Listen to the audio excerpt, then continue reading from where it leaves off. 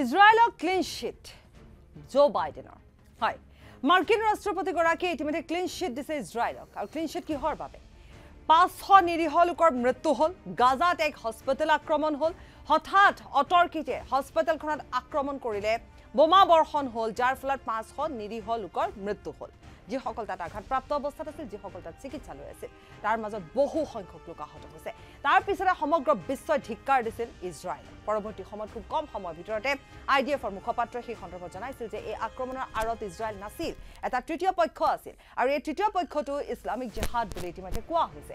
কিন্তু সেয়া তথ্য অনুযায়ী বা চোৰাংচোৱাৰ তথ্যৰ ভিত্তিত মাৰ্কিন চোৰাংচোৱাৰ তথ্যৰ ভিত্তিত আৰু ইজৰাইলৰ তৰফৰ পৰা যিখিনি তথ্য প্ৰমাণ দিয়া হৈছে তাৰোপৰি এনেকৈ মেপ প্ৰস্তুত কৰি ক'ত কোন ফালৰ পৰা ৰকেট আহিছিল কেনেকৈ বোমা বৰ্ষণ হৈছিল এই গোটেই সবিস্তাৰে তাত বুজাই দিয়া হৈছিল আৰু শেষত যেতিয়া জ' বাইডেন তাত উপস্থিত হৈছিল ইজৰাইলত উপস্থিত হোৱাৰ পিছত জ' বাইডেনে গোটেইখিনি চাই উচ্চ পৰ্যায়ৰ এক তদন্ত তাৰপিছত বৈঠক আৰু বৈঠকৰ অন্তত ক্লিন শ্বিট দিলে ইজৰাইলক কিন্তু যেতিয়া এই ঘটনাটো সংঘটিত হৈছিল তেতিয়া যিহেতু ইজৰাইলৰ ভ্ৰমণসূচী জ' বাইডেনে ইজৰাইলৰ ভ্ৰমণসূচীৰ বাবে সাজু হৈছিল আৰু এই ঘটনাটোৰ পিছতে তেওঁ এটা টুইট কৰিছিল। তেওঁ অতিকৈ মৰ্মাহত হৈ পৰিছে আৰু তেওঁ অস্বস্তিত পৰিছে যে প্ৰকৃততে ইজৰাইলে সঁচাকৈ আক্ৰমণ কৰিছে নেকি? তাৰপিছতে তেওঁ ইজৰাইলত গৈ উপস্থিত হ'ল। তেওঁ যিহেতু ভ্ৰমণসূচী আছিল। আৰু পৰৱৰ্তী সময়ত এইখিনি কথা ক'লে আৰু ক্লিন শ্বিট দিলে। ইজৰাইল ইয়াত জড়িত নাছিল। ইয়াত এটা তৃতীয় পক্ষ আছিল। আৰু তাক হয়তো হয়তো যে ইছলাম ইছলামিক জেহাদ বুলি এটা সংগঠন যিটো সংগঠন হামাছৰ সহযোগী সংগঠন বুলি কোৱা হৈছে।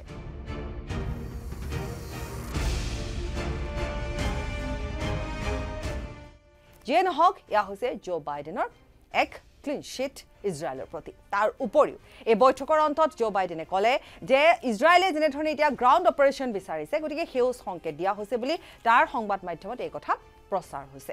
সেউজ সংকেত দিয়া মানি হৈছে গ্ৰাউণ্ড অপাৰেশ্যন মানি হৈছে এটা বছৰৰ যুদ্ধ। গতিকে তাত জ' বাইডেনে সন্মতি প্ৰকাশ কৰিছে। অৱশ্যে তেওঁ লগতে কৈছে যে আমেৰিকা সেনাই এতিয়া কিন্তু তেওঁলোকৰ সৈতে যুদ্ধত নাথাকে। এতিয়া ইজৰাইলী সেনাই যুদ্ধ কৰিব লাগিব। প্ৰতিৰক্ষা মন্ত্ৰীগৰাকীয়ে কৈছে যদিহে গ্ৰাউণ্ড অপাৰেশ্যন হয় তাত এটা বছৰ লাগিব। গতিকে এনেকুৱা ধৰণৰ কিছু সিদ্ধান্ত কালি তাত ইজৰাইলত লোৱা হ'ল।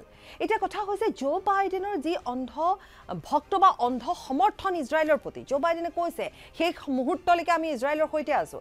আমিও আমি পেলেষ্টাইনৰ বিৰুদ্ধে নাই। কিন্তু পেলেষ্টাইনীসকলে হামাছক সমৰ্থন নকৰে। শতাধিক যেনেকুৱা ধৰণে কোৱা হৈছে যে আচলতে পেলেষ্টাইনীসকলে হামাছৰ দৰে এটা সংগঠনক এটা এটা সন্ত্ৰাসবাদী সংগঠনক উৎখাত হোৱাটো বিচাৰিছে। সেয়া জ' বাইডেনে কোৱা কথা। গতিকে পেলেষ্টাইনীসকলৰ বিৰুদ্ধেও তেওঁ নাই।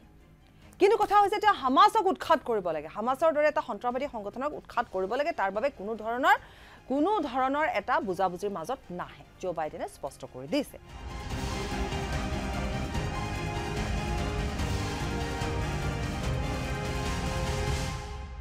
কিন্তু তেওঁৰ অন্ধ সমৰ্থন আছে ইজৰাইলৰ প্ৰতি।